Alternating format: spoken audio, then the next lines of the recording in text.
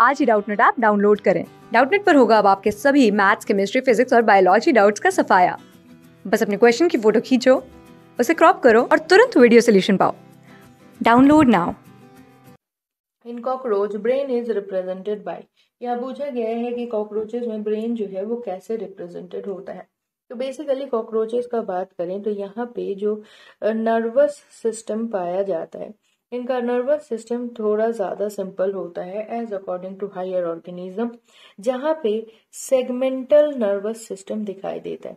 Segmental इसीलिए क्योंकि यहाँ पे जो गैंग्लियंस होते हैं, ये वन बाय वन नीचे उतरते हैं। जैसे हम कह सकते हैं कि यहाँ पे ब्रेन है तो गैंग्लिया जो है वो इस तरीके से स्कैटर्ड रहता है और डिफरेंट ऑर्गन्स में ये लोग न्यूरॉन्स को भेजते हैं।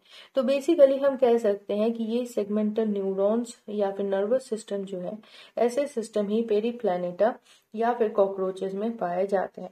जहाँ पे यहाँ पे ब्रेन का बात पूछा गया है तो ब्रेन जो है, ये बेसिकली सुप्रा ईसोफेजियल गैंग्लियन से कनेक्टेड रहता है या फिर रिप्रेजेंट होता है, जो कि इस वाले पोर्शन को बोला जाता है।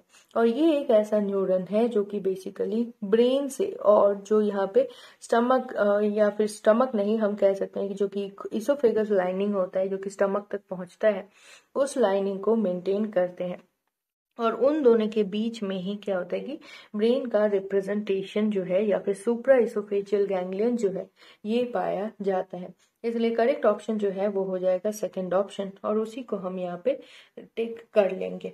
तो इसी हिसाब से जो करेक्ट ऑप्शन है, वो सेकंड ऑप्शन ही होगा, जो कि बहुत ही सिंपल फॉर्म है और इतना सिंपल फॉर्म सिर्फ़ कॉकरोच में ही दिखाई देता है। तो इसीलिए हम लोग सेकंड को ही टिक कर लेंगे। क्लास सिक्स से ट्वेल्थ से लेके NEET I I T JEE mains और एडवांस के लेवल तक। दस मिलियन से ज़्यादा स्टूडेंट्स का भरोसा। आज ही डाउनलोड करें डाउट नेट आप या व्हाट्सअप कीजिए अपने डाउट्स आठ चार सौ चार सौ चार सौ पर।